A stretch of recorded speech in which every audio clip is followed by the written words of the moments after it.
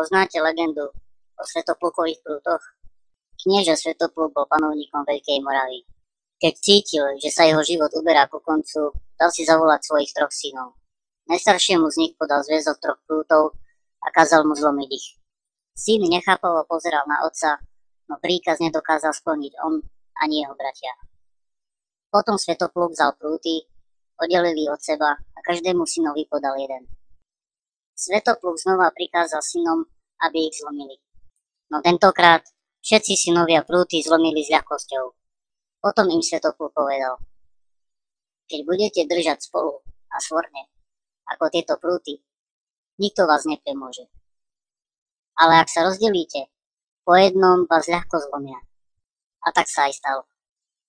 Vďaka vnútorným rozporom sa Veľkomoravská ríša rozpadla a nakoniec úplne zanikla podobnej situácii sme aj dnes.